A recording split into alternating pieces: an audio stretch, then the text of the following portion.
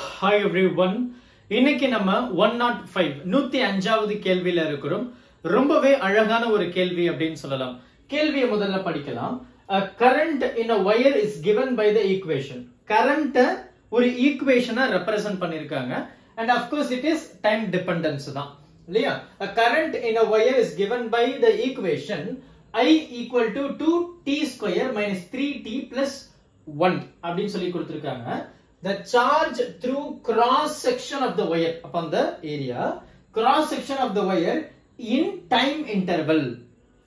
மூணு செகண்ட்ல இருந்து அஞ்சு செகண்ட் ஸோ என்ன கேட்குறாங்க இந்த த்ரீ டு ஃபைவ் செகண்ட்ஸ்ல வாட் இஸ் மை சார்ஜ் அப்படின்னு கேட்குறாங்க சோ பொதுவா நம்ம ரொம்ப அழகா கரண்ட்டை டிஃபைன் பண்ணலாம்.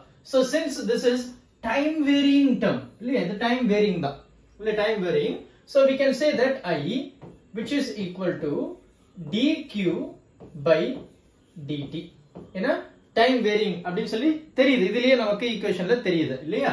So i equal to dq by dt அப்படி நம்ம சொல்லலாம் வேரியபிள் கரண்ட் அப்படின்றதையும் நம்ம சொல்லலாம். இந்த இடத்துல ரொம்ப தெளிவாவே சொல்லலாம். ஸ்டெடி கரண்ட் அப்படின்னு இருக்கு அது பேட்டரி இது variable so dq by dt i அப்படின்றது. சோ இங்க கேள்வியில என்ன கேக்குறாங்க? Current in wire is given by the equation. Current கொடுத்திருக்காங்க. The charge through the cross section of the wire and charge and they are asking about dq Up i can also say dq which is equal to i times dt இல்லையா i times dt அப்ப இந்த இடத்துல நமக்கு dq தான் வேணும் in this particular time அப்போ அந்த particular timeல என்னுடைய சார்ஜ் என்ன அப்படின்றது தெரியணும் அப்ப நான் என்ன பண்ண போறேன் அப்படின்னா ஜஸ்ட் வி இன்டகிரேட் இந்த டோட்டல் ஒரு பர்டிகுலர் இன்டர்வெல்ல எனக்கு ஒரு வேல்யூ வேணும் அப்படின்னா வி இன்டிகிரேட் ஒரு இன்ஸ்டன்ட் வேல்யூ வேணும் அப்படின்னா வி டிஃபரன்ஷியேட் ஸோ இந்த த்ரீ டு ஃபைவ் செகண்ட்ஸ் கேட்குறாங்க அதுல எவ்வளவு சார்ஜஸ் இருக்கு? அப்போ it is very clear that I'm going to integration so integration differentiation நம்ம சேனல்ல ரொம்ப தெளிவா நம்ம பேசியிருக்கோம். அதை நீங்க ரெஃபர் பண்ணி பார்த்துக்கோங்க. அப்போ இங்க d q right so which is nothing but different integrate பண்ணிட்டேன்னா அது கியூ அப்படின்னு மாறிடும். எனக்கு இங்க என்ன இருக்கு? ஐ டிடி ஐன்றது என்ன? I'm going to write two t square minus three t plus one ரைட்டா with respect to time dt அப்ப அதை இன்டிகிரேட் பண்ணும்போது இதனுடைய இன்டர்வல் என்னவா இருக்கும்? இன்டர்வல் த்ரீ செகண்ட் அது lower limit upper limit right with respect to time சரியா? இதுதான் நமக்கு இருக்கு. அப்போ with respect to time dt இல்லையா? With respect to time so இது நமக்கு ரொம்பவே தெளிவா தெரிஞ்சிருது. சோ இந்த டிக்கு என்னது? ஜீரோ டு கியூ அப்படின்னு தான் இருக்க போறோம். சோ ஆப்வியஸ்லி நான் அதை கியூ அப்படின்னு எழுதிட்டேன்.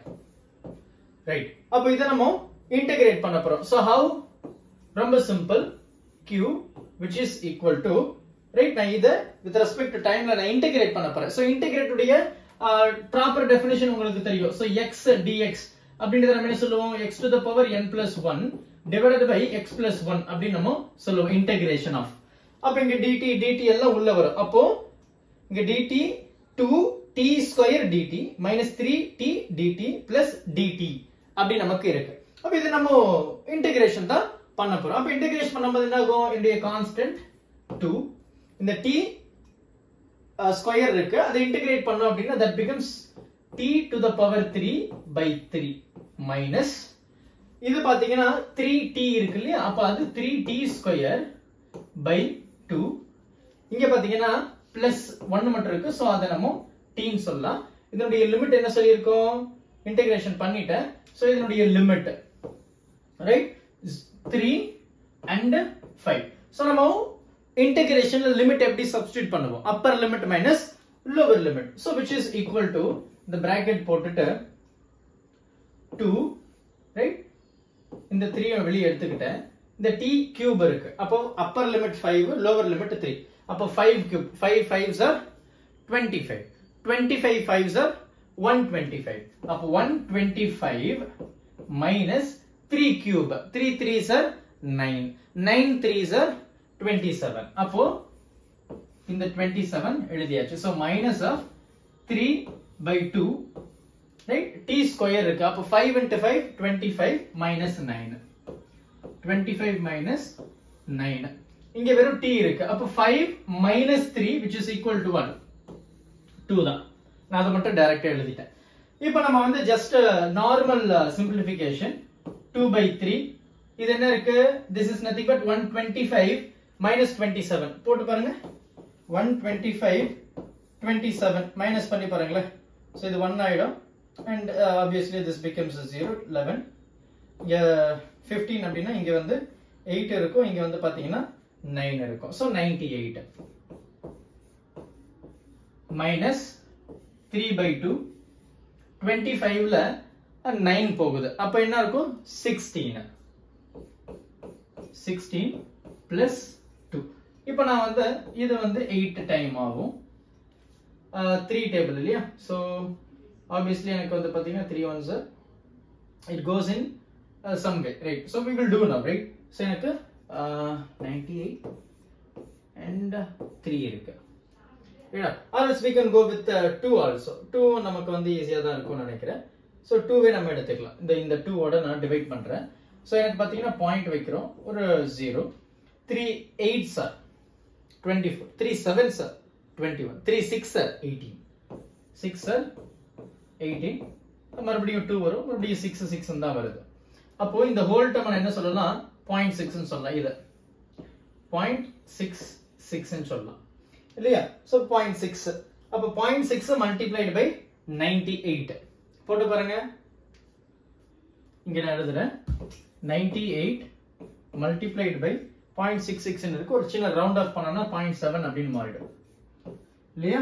பாயிண்ட் செவன் அப்படின்னு மாறிடுது அப்போ seven seven sir forty nine seven eight sir fifty six five இருக்கு அண்ட் நைன் செவன் சார் எவ்வளோ sixty three sixty three plus five sixty eight and sixty eight point five அப்படின்னு வருது so sixty eight point six அது minus three eight sir twenty four plus two இது என்னது இது add பண்ண twenty six அப்போ sixty eight point six minus twenty six பண்ண.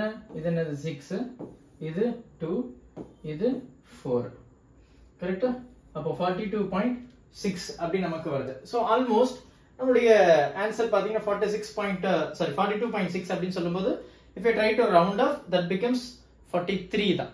இல்லையா? ஃபார்ட்டி த்ரீ அப்படி நம்ம எழுதலாம். ஸோ நம்மளுடைய ஆன்சர் பார்த்தீங்கன்னா இதுவா இருக்கும். ஸோ இதுதான் நம்மளுடைய ஆன்சரா இருக்கும்.